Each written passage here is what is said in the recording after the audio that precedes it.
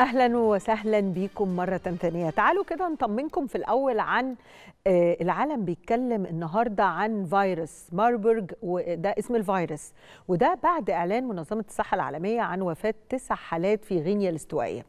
فيروس ماربرج على هو المفروض إنه مش فيروس جديد خالص. هو معروف سابقا ببساطة باسم حمى ماربرج النزفية يعني اللي بيحصل إنها حمى نزفية فيروسية وهي شديدة العدوى بتنتمي إلى نفس عائلة مرض فيروس الإيبولا وتم اكتشاف المرض ده سنة 7 وستين. طيب إذا كان هو يعني من عائلة الإيبولا أو بيقترب منها ربنا يكفيكم كل شر ويبعد عن مصر كل شر.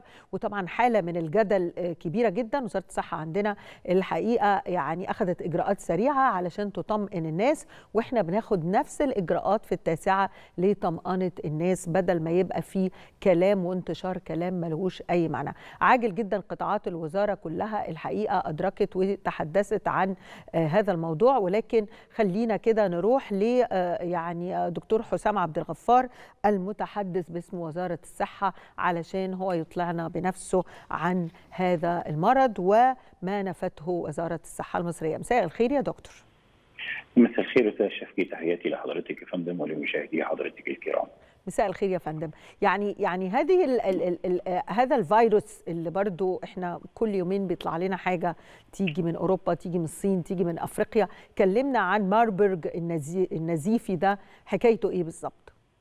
يعني زي ما حضرتك ذكرتي في بداية المقدمة إنه ده فيروس من عائلة الإيبولا. تم اكتشاف أول إصابة به في سنة 1967 في ألمانيا وصربيا. في شهر يوليو تم اكتشاف حالات في غانا ولهذا أعلنت منظمة الصحة العالمية أنه فيروس مثير للقلق وبيتم دراسته. هو فيروس يصيب ينتقل أصلا من الحيوان ويصيب الإنسان، طرق العدوى ليست تنفسية يعني لا ينتقل عن طريق الهواء والرذاذ وإنما ينتقل من خلال ملامسة سوائل الإنسان المصاب به أو الحيوان المصاب به. وبالتالي فهو ليس سريع الانتشار وإنما يحتاج إلى ملامسة للسوائل سواء كان دم سواء كان إفرازات سواء كان مخاط وبالتالي احتمالية انتشاره بشكل وبائي كبير ليست مرتفعة لكن لأنه إذا تم اكتشافه متاخرا أو تأخر يؤدي إلى الوفاة. فمن المهم إن يبقى في إجراءات احترازية. الحمد لله إحنا ما عندناش أي حالات في مصر لكن وزارة الصحة للحفاظ على مصر خالية قامت برفع درجة الاستعداد في المنافذ سواء كانت برية أو بحرية أو جويه وفي نفس الوقت رفع درجة الوعي لدى السادة العاملين في القطاع الصحي في المستشفيات الصحة في المستشفيات الخاصة في المستشفيات الجامعية بطرق الاشتباه التشخيص آليات العلاج. وما إلى ذلك. طب السؤال هنا اللي هيسأله أي حد بيسمع حضرتك يا دكتور هيقول هو بيبان إيه على الشخص؟ يعني هي بتبقى حمى بيجيله نزيف على طول ولا هو بيبان عليه أعراض استباقية يعني؟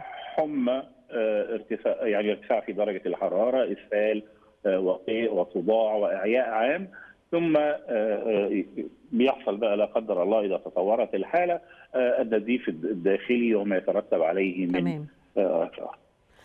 طيب يعني حضرتك طمأنتنا وإحنا بنؤكد من خلال كلام حضرتك بإنه لا يوجد أي حالة من هذه الحالات موجودة ووزارة الصحة تأخذ كل الاحتياطات والإجراءات في المنافذ المصرية.